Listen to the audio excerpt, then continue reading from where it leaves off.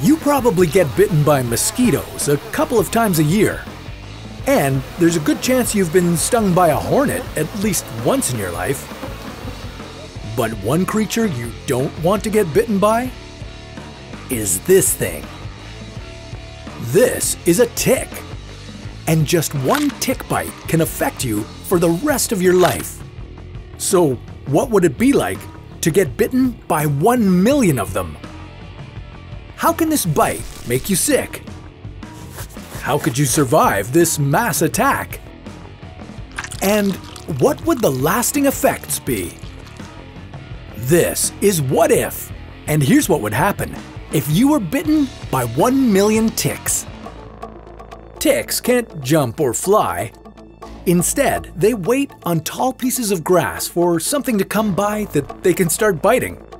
Then, they latch onto their host and find a thin piece of skin they can extract blood from.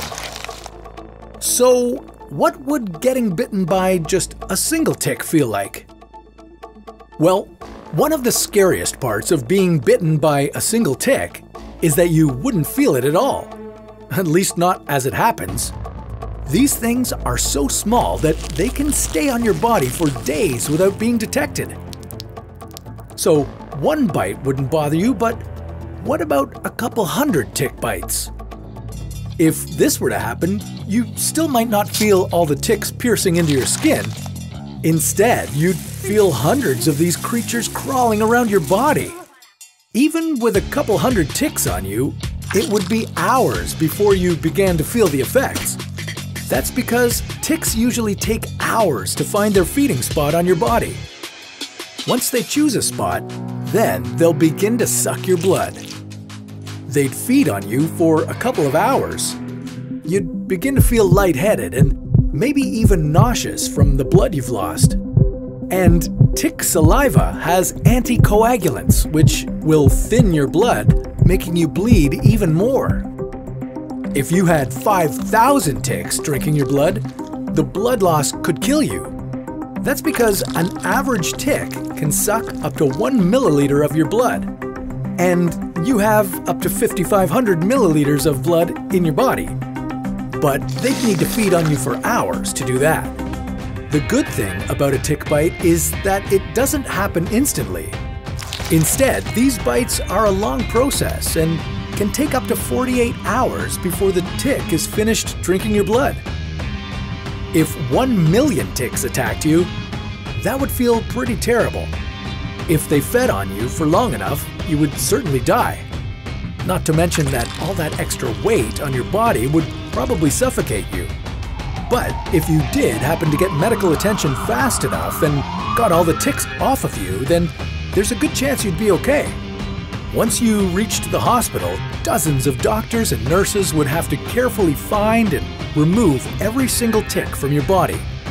That's because after the ticks latch on, they start to burrow into your skin. They're not something you can easily just brush off. Instead, it requires a precise extraction to get them out of you. It would take hours, maybe even days, to get every single tick off your body. Throughout this process, you'd continue to lose blood. Luckily, if you removed them fast enough, you'd end up surviving, but if you leave just a single tick on your body, the consequences could be devastating. One tick drinking your blood would be the least of your worries. Ticks can give you plenty of other health problems, including Lyme disease. This tick-borne illness would make you incredibly fatigued and could lead to joint pain and heart issues.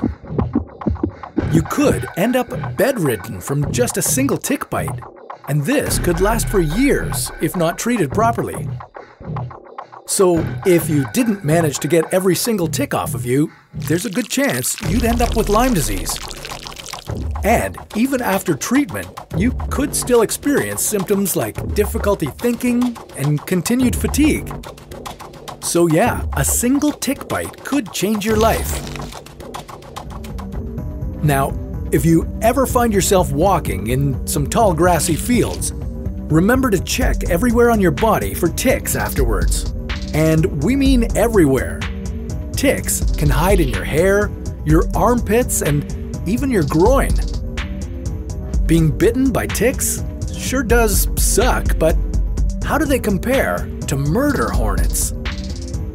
Well, we'll leave that story for another What If.